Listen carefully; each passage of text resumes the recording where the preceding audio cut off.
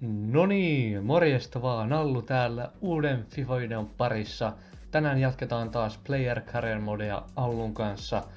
Arsenaalilla ja Spursilla kova ottelu tulossa.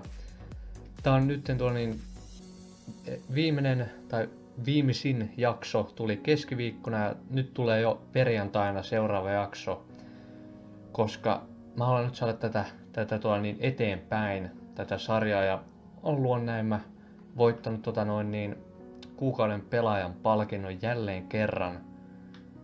Joo, kyllä oli, oli ihan hyvä kausi, mutta, mutta tota, nyt olisi sitten tarkoitus jatkaa sitä hyvää menoa ja, ja tota, Spursia vastaan todellakin niin kova ottelu tulossa, että kun katsoo liikataulukkoa, niin Spurs on meidän kanssa, meidän kanssa tappelemassa tuosta kärkisijasta, että niillä on vain yksi piste vähemmän. Eli tämä on nyt sitten niin pakkovoiton paikka, että saadaan kasvatettua sitä eroa vähän sen. Kova, kova ottelu tulossa, mutta kaikki on levänneet ja kaikki on valmiina, valmiina tähän. Ja toivottavasti se on napattua tässä nyt kaikki täydet kolme pistettä. Kyllä mulla ainakin luotto on, että me siihen pystytään.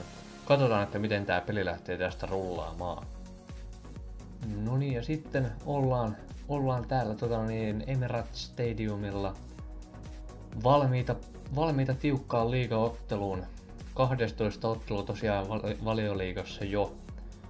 Että ihan, ihan hyvin ollaan edetty tässä ja tota, toivottavasti, toivottavasti saadaan voitto, että meillä on yksi häviö vasta, neljä tasapeliä kuitenkin, että se on ehkä vähän liikaa, liikaa tasureita, mutta näillä mennään mitä on ja, ja tota, tää on nyt tässä jaksossa, niin mä pelaan vaan tän yhden pelin, että jos missä sitten viime jakso, niin siinä mä pelasin kaksi ottelua, että kannattaa mennä tsekkaamaan että miten niissä peleissä kävi, mutta tänään pelataan vaan tämä yksi ottelu ja sitten taas tota noin, niin katsotaan, katsotaan jakson päätteeksi, että, että mitä vastaan, mitä joukkuetta vastaan pelataan ensi kerralla, mutta nyt on kova peli. Spurs, Spursin tota noin, niin, hyökkäyskalusto on kuitenkin sen verran kova, että saa nähdä, pystyykö Peter Check pitämään meidät pystyssä tänäpä. Ei oikein ole mitään järkeviä syöttövaihtoehtoja kenelläkään. Nyt kyllä on hyvä tää Spursin ansa tässä, mutta nyt Vertongia sitten repii, repii vähän liikaa ja nyt olisi ihan hyvästä paikkaa vapaa potku. Nyt menee vähän liikaa taaksepäin, mustavisien pääsee, mutta se on sitten sen verran heikko pusku, että se ei, se ei Hugo Lorisia tuoretta MM-mestaria. MM-mestaria. Kuitenkin ehkä maailmanmestaria eikä MM-mestaria. Maailman mestaruusmestaria. Nyt on sitten Kane siellä maassa. Tää voi olla meille ihan hyvä juttu, kun Kane nyt sitten loukkaantuna pitelee siellä pol- vasenta polveensa. Ja Kane tulee pois kentältä. Mitä siellä sitten oikein tapahtuu, koska se kamera, kamera kääntyi pois. Mä näin kyllä, että siellä... Okei, okay, Bellerin antoi melkoisen, melkoisen iskun Keinelle. Huhhuh. Ja sieltä tulee Lorentti tilalle. No, tuo on ainakin ehkä meille ihan hyvä juttu, että se loukkaantui, mutta tietysti siis pörssillä vähän huonompi homma, varsinkin jos on pitempi, pitempi, tota noin, niin, pitempi huili edessä, niin Spurssilla aika huono homma, mutta me, meille ainakin hyvä.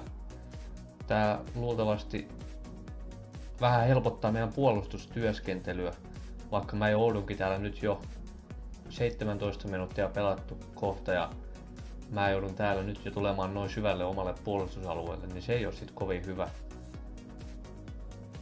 Nyt on Allu sitten hyvässä vauhdissa, sieltä tulee laitaa läpi ja ohi. Ei voi vetää tossa ohi. Mä olin ihan omissa maailmoissani, enkä meinannut edes tajuta, että mä pääsin siitä läpi. Huhhuh. Allu pääsee sieltä tulemaan hyvä Ösilin läpisyöttö, mutta mun, mun viimeistely vaan ei...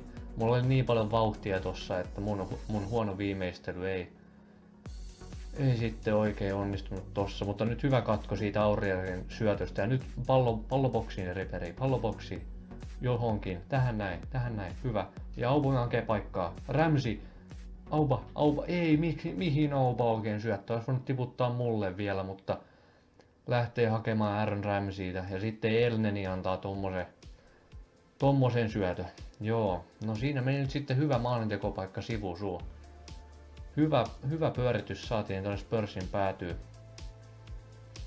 Nyt, no ja nyt menee syöttö taas sitten pitkäksi. Nyt on kyllä niinku äh, tuo meidän syöttely on kyllä ollut todella kyseenalaista tässä pelin alussa. On kyllä mennyt, on mennyt ohitte ja on mennyt vieraille pelaajille ja on, on tota, no niin vähän, vähän kummallista ollut tämä syöttelypeli.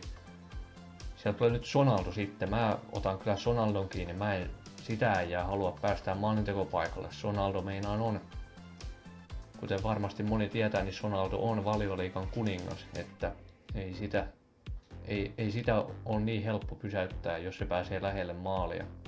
Mutta siihen päättyy ensimmäinen puoli aika 0-0 tilanteessa ja ihan kyllä oikea, oikea tulos, että ei kummallakaan oikein ollut mitään järkevää tilannetta. No mulla oli se yksi paikka, mutta se meni tolpan ohitte. Ikävä kyllä. Toisella puolella pitää sitten parantaa syöttelypeliä ja saada se yksi maali ainakin tehtyä. Mielellään enemmänkin kuin yksi, mutta yksi olisi hyvä alku. Nyt Auba. Ja Riberille vielä. Nyt ei, Riberi, pystyykö se liikuttaa palloa johonkin? Pystyyhän se, mutta se ei liikuta. Miksi, mitä se yrittää? Mitä Riberi oikein yrittää tossa? Eihän tossakaan ollut mitään ideaa. Ja nyt on taas sitten kiire omaan päähän. Voi, voi, voi.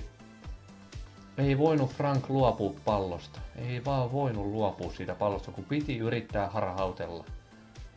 Ja nyt tulee Lukas sitten laitaa läpi ja nyt on paha paikka. Jai, jai, jai. Pallon eteen nyt vähän äkkiä. Jos, to, jos toi olisi lirunut maaliin, niin mä olisin kyllä saman tien pistänyt siirtopyyntöä pyyntöä pois, koska ei, ei, ei, ei, en mä pelaa joukkueessa, joka pelaa näin. Huhhuh. Tää alkaa nyt muistuttaa vähän liikaa oikein elämän arsenaalia. Mistään ei oikein tuu mitään. Siitä niin katko. Nyt ylös. Pallo ylös, pallo ylös.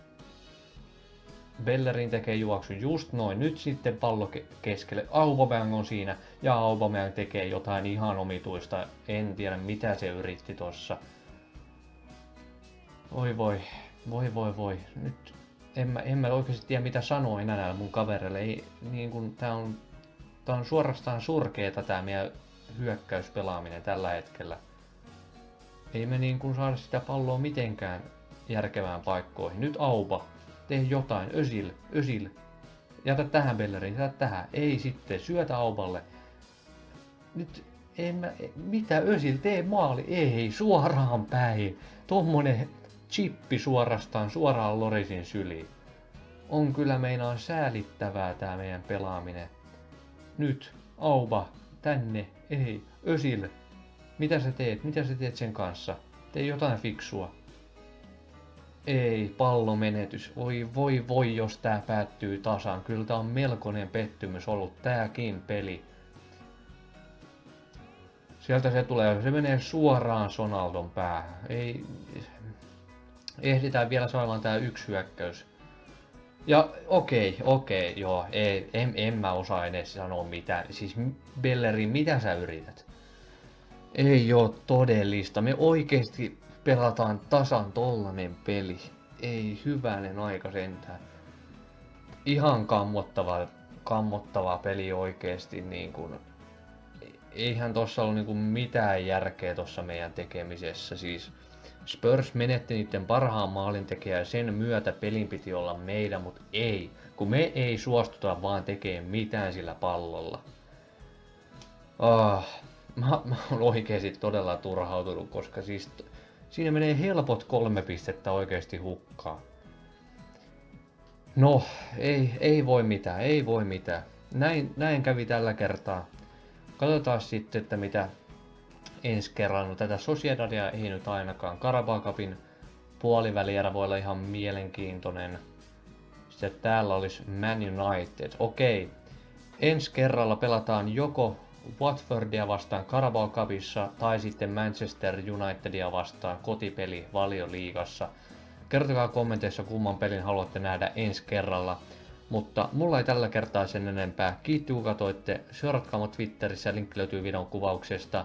Me nähdään ensi kerralla jonkin toisen aiheen parissa. Se on mun puolesta ensi kertaan. Morjes!